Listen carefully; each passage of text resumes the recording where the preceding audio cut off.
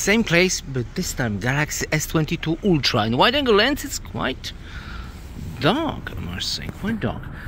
1x, which is main lens. You can compare it to the uh, iPhone or whatever. I'm always making video at the same place. Green, very green now.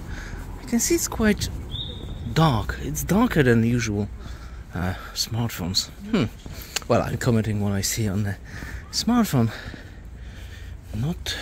This is live co live comments. So there you go. But the stabilization works fantastic. Okay, one more time. Wide angle and telephoto. Wow, telephoto shines. Look at those cakes. Bear in mind, this is through the glass. You can check prices of those cakes from here. Anyway, let's continue. And my friend, let's go.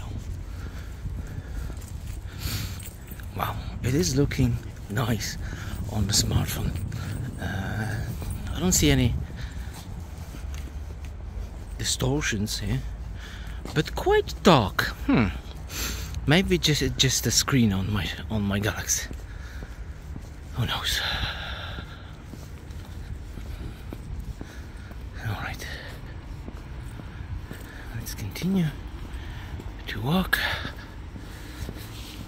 Now, remember in the previous smartphone, all those light was blue. Now it's also blue, but a little bit less. Okay, this sign should be red, blood red. And it is blood red on the telephoto lens. This is 10x. This is how it's supposed to look like. That's the first smartphone which managed to get the actual colors. First one. This is on 10x, 2020x. This is actual color of those letters. Not white, bloody red. So great success. First one ever which make those colors correctly ever with all those smart, smart smartphone which I review and though in seven years now yeah. so let's continue. Wow let me stop for a bit. Nice. Let's continue. This is 30 frames per second because 60 it's, it's a little bit more darker. So uh, for reason me unknown. But uh, let's so let's stay with 30 okay. Wow. Now front face okay front facing camera and 30 frames per second also looks very bright and very nice it's quite dark in here so yes this is really really good Ooh. Ooh. nice so I think that's all I have just a small video about uh, Samsung Galaxy S22 at night. Why I have 4F on my forehead?